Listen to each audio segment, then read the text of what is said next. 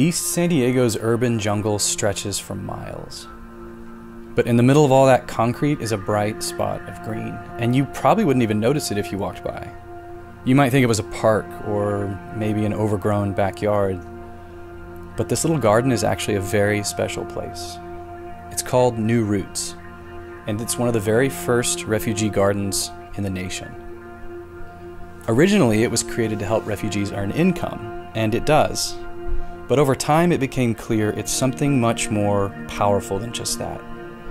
For many of the gardeners, this garden is a place of healing from trauma. They are from all over the planet, all backgrounds, all walks of life, an incredibly diverse group of people, and yet they're also incredibly united around this little patch of earth.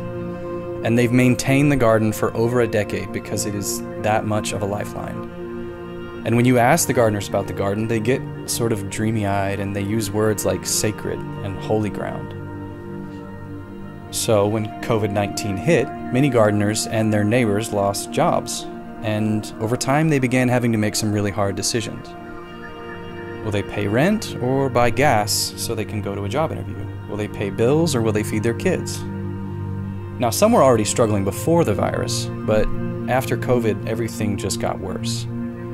And so several gardeners approached us and they asked if we could help, and we were jumping in. We're inviting the community to donate. Every gift of $15 will be used to purchase a produce bag from the gardeners, and then we'll deliver that produce to struggling neighbors in need. So, by donating a produce bag, you're actually doing several things. You're supporting hyper-local chemical-free gardening, you're supporting hardworking refugees in need, and you're feeding hungry families in the community.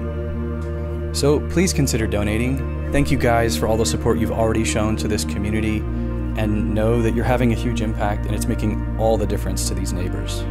And we're grateful.